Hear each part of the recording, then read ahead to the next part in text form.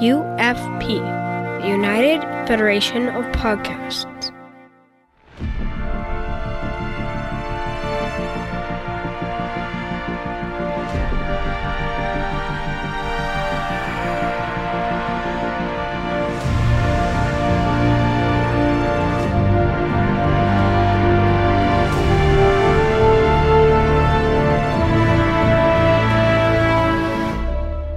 Good morning. I'm Chrissie De Clerck Szilagyi. And I'm Jason Szilagyi with today's Caffeinated History with the Szilagyis on the United Federation of Podcasts Network. Before we jump into our topic for the day, we'd like to take a moment to thank our United Federation of Podcast associate producers, Justin Oser and David Willett.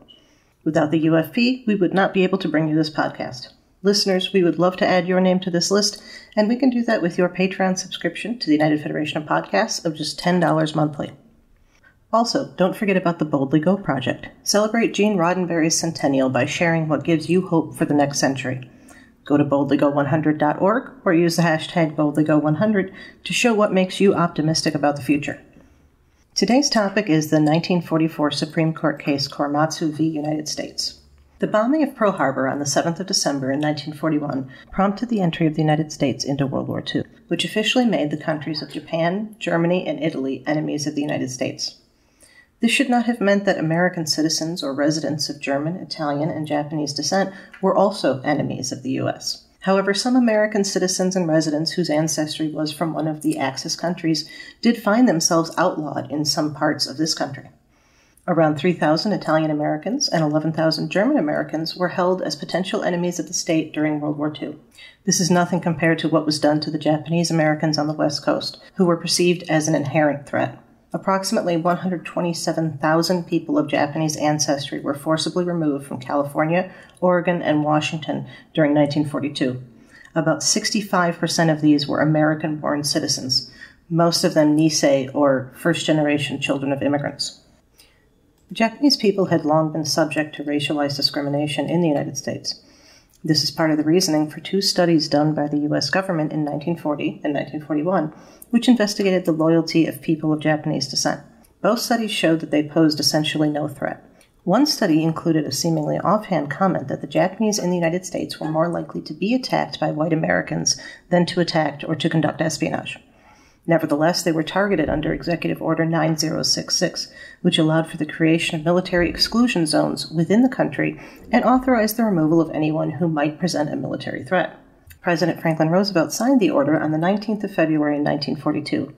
By the 24th of March, all people of Japanese ancestry in these states were ordered to assembly points, from which they were sent to concentration camps scattered around the U.S.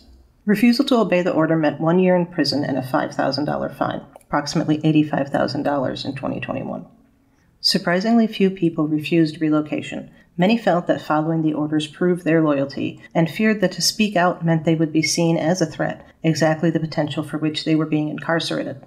Fred Korematsu, an American born citizen of the United States and of the state of California, decided to take that risk. He was arrested for violation of the relocation order on the 30th of May in 1942 and held in a San Francisco jail.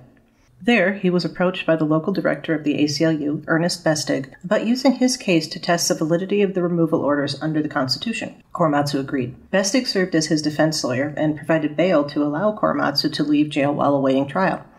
When the two men tried to leave the building, they were stopped by military police, who cited the fact that Korematsu violated a military order, not a civilian law, as they took him from that prison in San Francisco to one on the Presidio, a local army base. He was tried and convicted of having violated the executive order. His sentence was four years of probation. He and his family were sent to the Central Utah War Relocation Center in Topaz, Utah, the conditions of which he described as having been worse than prison. He was also widely ostracized in the camp, as people felt he was a troublemaker and did not wish to be seen as such themselves. Korematsu's first appeal was heard by the U.S. Court of Appeals for the Ninth Circuit, who upheld the original decision. His second appeal was heard by the Supreme Court, the 6 3 decision upholding the conviction was released on the 18th of December in 1944. The court did acknowledge that the exclusion of groups or particular people was not necessarily constitutional, but was acceptable in wartime and other emergencies. Justice Hugo Black's majority opinion said, quote, Korematsu was not excluded from the military area because of hostility to him or to his race, but because the properly constituted military authorities decided that the military urgency of the situation demanded that all citizens of Japanese ancestry be segregated from the West Coast, quote, while the U.S. was at war with Japan. It must be noted here that the large Japanese American population of Hawaii was not relocated, despite the attack having been carried out on those islands and their closer proximity to Japan itself.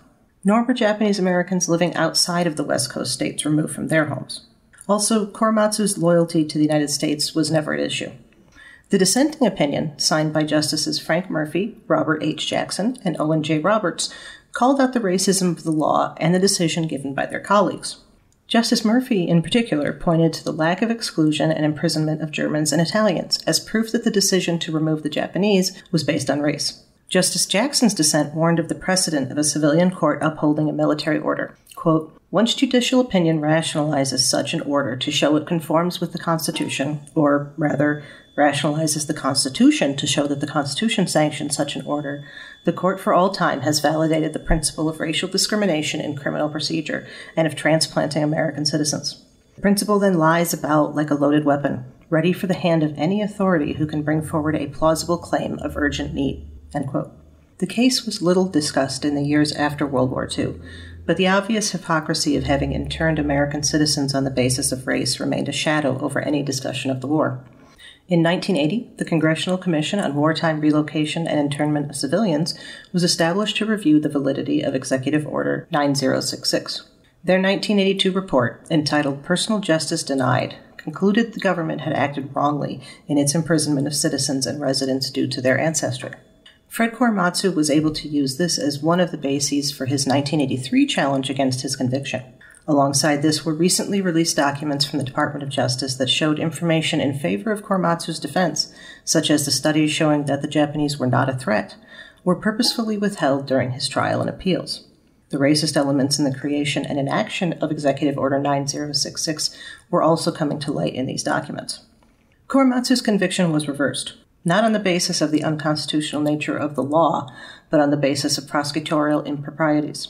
In 2011, the Department of Justice offered an official admission of wrongdoing, saying it had incorrectly acted in the prosecution and conviction of Korematsu.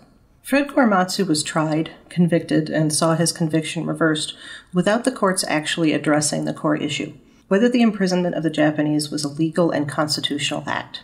Thus, this Supreme Court decision, which essentially permitted the imprisonment of American citizens, has remained as precedent, even as the immorality and the illegality of the act is understood.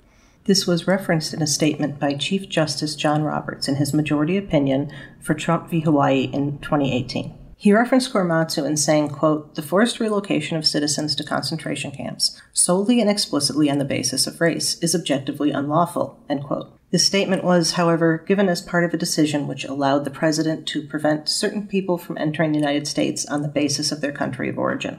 Despite that statement from the Chief Justice, Korematsu has not been overturned. Thank you for listening. We'd also like to thank our History with the Szilagyis Patreon patrons Ed Chinevere, Laura Dull, Kris Hill, and Susan Capuzzi De Clerck. Their contributions help us to have the time to research and write what you're hearing. And thank you to the creators and executive producers of the UFP network, Ken Tripp, Tony Robinson, Brandon Shumatala, and Zach Moore. And another thanks to Tony Robinson for the awesome show art, and Zach Tripp for the wonderful closing music. Please subscribe in your favorite podcast app and rate and review us there as well. And while you're at it, you can check out all of the other great shows UFP has to offer. We'd love to hear what you think. If you'd like to reach out, you can find the network on Twitter at UFP Earth, and this podcast in particular at History Szilagyi. You can also talk about any and all of the UFP podcasts in our Facebook group called the Federation Council Chambers. And last but not least, you can find me on Twitter at the Goddess Livia. That's T H E G O D D E S S L I V I A and me at Jason Dark Elf. We'd also love to hear topic suggestions. What would you like to learn on caffeinated history?